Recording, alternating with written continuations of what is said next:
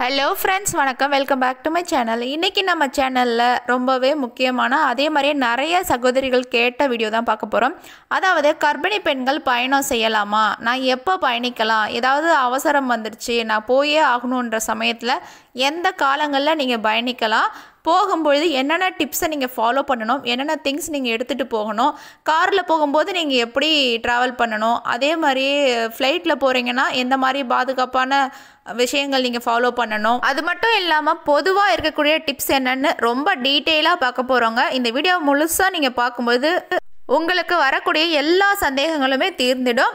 Skip பண்ணாமல் கடைசி வரைக்கும் பாருங்கள் வீடியோக்குள்ளே போகிறதுக்கு முன்னாடி உங்கள் எல்லாருக்குமே ஒரு சின்ன அன்பான வேண்டுகோள் நம்ம எங்கள் அம்மா வீடியோ பிடிச்சிருந்தா லைக் பண்ணுங்கள் கமெண்ட் பண்ணுங்கள் ஷேர் பண்ணுங்கள் மறக்காமல் அந்த பெல் ஐக்கானையும் கிளிக் பண்ணுங்கள் நீங்கள் அதை பாருங்கள் கண்டிப்பாக உங்களுக்கு பிடிக்கும். பாய் தேங்க்யூ பாப்பா பேசணும்னு ஆசைப்பட்டாங்க. அதனால தான் சரி வாங்க இப்போ வீடியோக்குள்ளே போகலாம். முதல் கேள்வி கர்ப்பிணிகள் பயணம் செய்யலாமா அப்படின்றது தான் ஒவ்வொரு பெண்ணோட உடல்நிலையும் ஒவ்வொரு மாதிரிங்க.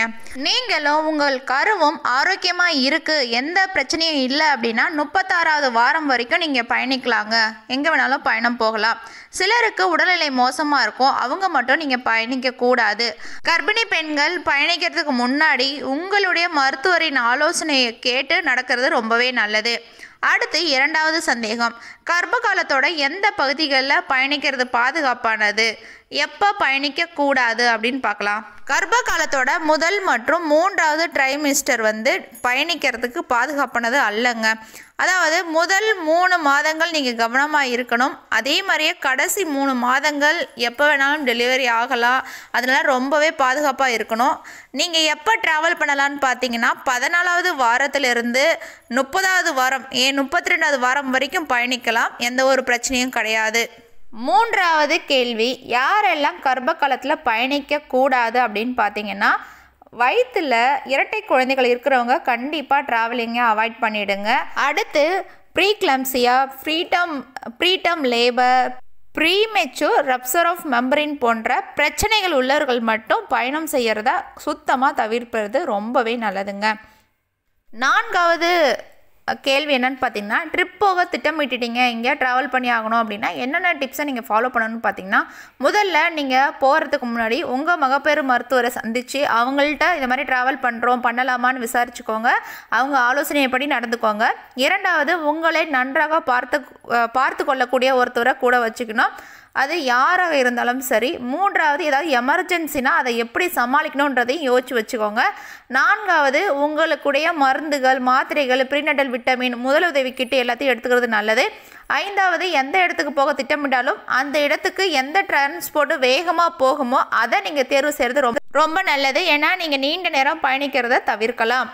ஐந்தாவது நான் ட்ராவல் பண்ணுறத கன்ஃபார்ம் பண்ணிட்டேன். காரில் தான் போகிறேன் அப்படின்றவங்களுக்கான டிப்ஸ் தாங்க இது. காரில் பயணிக்கும் போது கர்ப்பிணி பெண்கள் என்ன பண்ணணும்ன்ட்டு குறுகிய நேரம் பயணிக்கிறது ரொம்ப நல்லது. ஒருவேளை ரொம்ப நீண்ட நேரம் நீங்கள் பயணிக்கிறீங்க அப்படின்னா சில நேரங்களில் நிறுத்தி எழுந்து கை கால்களை அசைஞ்சு கொஞ்சம் நடந்து போயிட்டு அப்படி ரிலாக்ஸ் பண்ணிவிட்டு மறுபடியும் ட்ராவல் பண்ண ஆரம்பிங்க.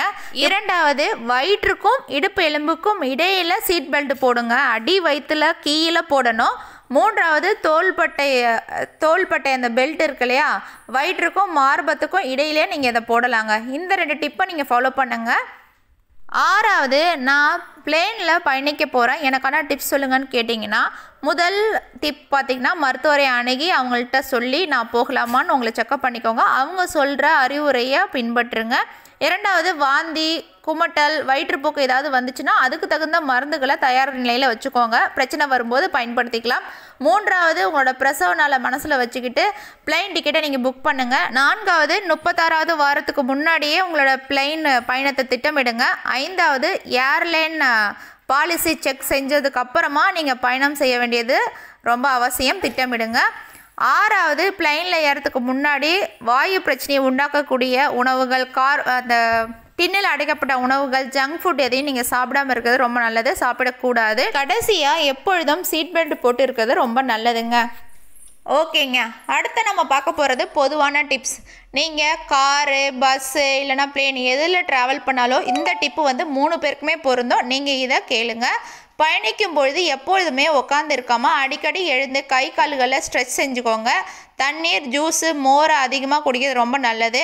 நீங்கள் ட்ராவல் பண்ணும்போது ஆரோக்கியமான உணவு பழக்கத்தை மட்டும் சாப்பிடுங்க. மலச்சிக்கலை விரட்ட நார் சத்து நீர் சத்து உணவுகளை சாப்பிடுங்க. மிதமான உடற்பயிற்சி செய்கிறது ரொம்ப நல்லது. சிறுநீர் கழிக்கும்போது அந்த உணர்வு வரத்துக்கு முன்னாடியே நீங்கள் போய் சிறுநீர் கழித்து விடுங்கள். ஏன்னா சிறு ஒருவேளை நீங்கள் ட்ராவல் பண்ணணும்னு நினச்சி சிறுநீரை அடக்கி வச்சிங்க அப்படின்னா யூடிஐ பிரச்சனை வரும்.